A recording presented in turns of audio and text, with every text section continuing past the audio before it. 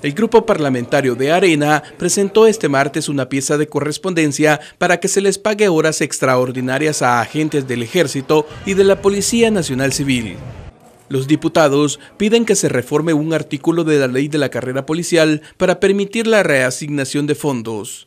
Indicaron que no basta solo dar un bono sino mejorar las condiciones salariales de los mismos. Con imágenes de Nancy Alonso informó para la prensa Gráfica.com Juan José Portillo.